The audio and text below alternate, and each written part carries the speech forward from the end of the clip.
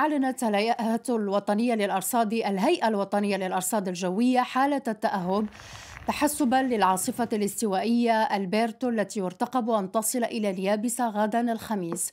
وقالت مصادر رسمية إن العاصفة ستكون الأولى من نوعها خلال موسم 2024 في المحيط الأطلسي ويرتقب أن تصل إلى اليابسة فجر الخميس شمال شرق البلاد. ومع اقترابها إلى اليابسة تسببت العاصفة في أمطار غزيرة في عدد من الولايات المكسيكية.